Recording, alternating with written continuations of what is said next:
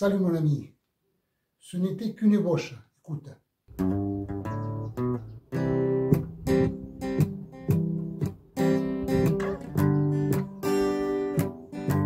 La magie du Havre de Paix opéra, voilà ce que c'est devenu.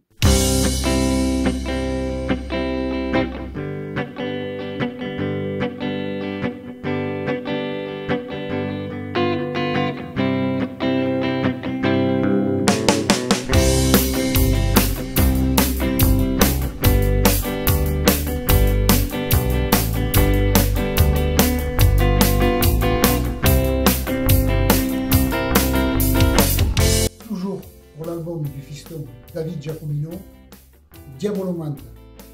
Très bonne journée et bien sûr, à tout à l'heure.